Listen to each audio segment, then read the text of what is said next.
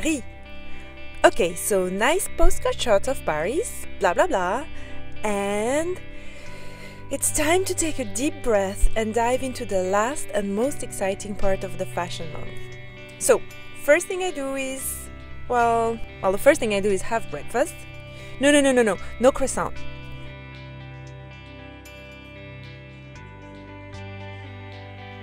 Then meet up with my Paris team, try to get serious for two seconds. You know, it feels like like back to school, except this time, how can I say that? Well, it's like I'm the teacher. Look, those are our studios. And let me introduce the team to you. Bon, okay, I'm starting introduction. Today is the first day of Paris, pardon my French. and this is Gino. Hey! Emily, who is the boss. Look, she's at the. yes. Cameron, Yes. Chairman. Exactly. Kim. what was that? This is John, a super cool editor that we brought from New York. From LA. he- From LA. From LA. He hasn't slept since since then. This is Valerie. Valerie.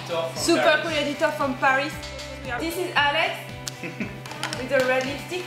The, this is Fred under the cap. He has a big camera. Huh? And this is Julien. Ah la vache! Yes. no, sexy, sexy, sexy. and now we're going to go to the Dries Van Noten show. It's going to be our first show.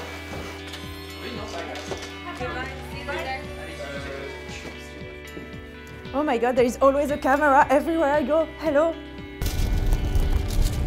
Dries is always very good to do invitation. Very light. Okay, now that you know everybody, let's start. Fashion Week kicked off for us with Dries Van Noten's show. This is Peter Philips, one of the most talented makeup artists I know. Oh, and here is Dries. Hello. Let's ask him a couple of questions about his collection. Uh, we start always by saying nothing is as it seems. So it's what feels heavy is very transparent. So it's about precious materials, but disguised as men's fabrics. It's plaid shirts with couture skirts. It's really a mixture of couture, menswear, grunge, Yeah. day and night. I saw the makeup also, it's very. Very pale, but Yeah. really the, the bright pink lips. I'm gonna let you Okay. and thank you so Enjoy. much. Just a little interview on the side.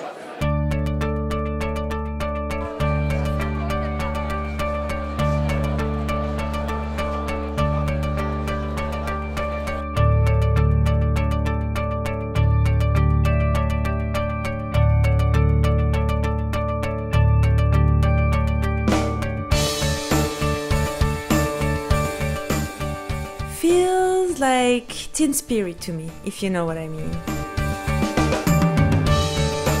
And love Dries. I love Dries Yes. always with the flower, the costume. Yes. Yeah. I love the makeup and the hair. Yeah, Yeah, I thought it was good. Tomorrow, I'm going to go buy fuchsia, put a lot of powder, and uh, do blonde with a big, yes, like that. yeah. I can't wait to see Yes. it tomorrow.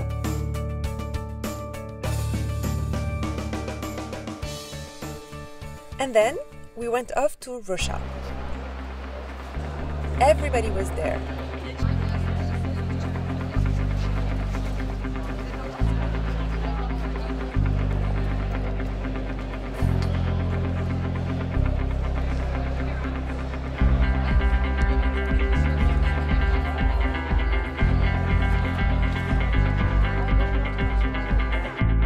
The Russia girl, she always has that edgy look, you know?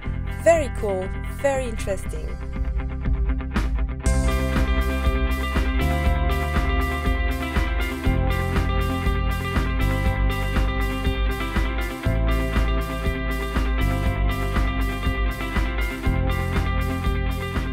After the joy of the Russia show, I spotted my friend Lauren, and after, well, after commenting about the people outside the shows, shooting around, and joking around with some friends.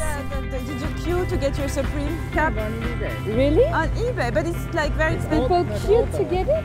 Yeah. we were we were older. talk, we were talking about Supreme that it's like more fashion than fashion. For Because- guys, more for guys. More for Okay, guys. that's good. Sorry.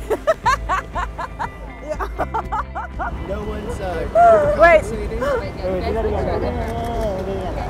Oh my God! It's Lauren Bastide. Scott and I offered Lauren a ride in our car, and the conversation took an interesting turn. So you're gonna write a story about. Yes, So what is your story? I think Because there's here you are with like the the king, greatest the king. street photographer.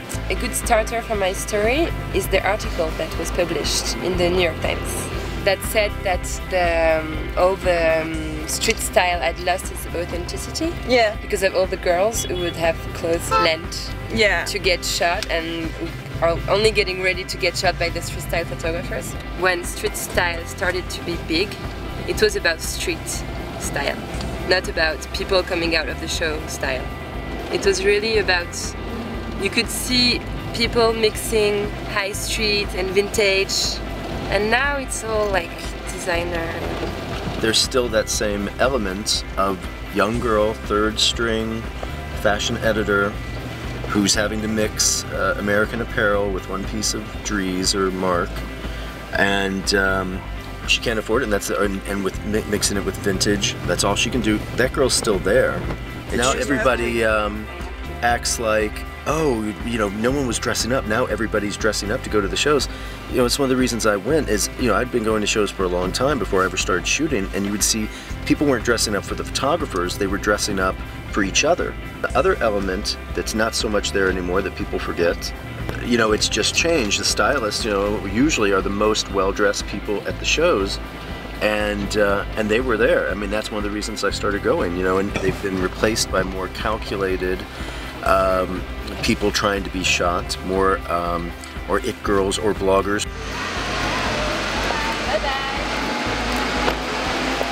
After that, the rain turned Paris into a beautiful cinema set. We decided to go back slowly, dreaming grungy dreams in the gorgeous rainy sunset.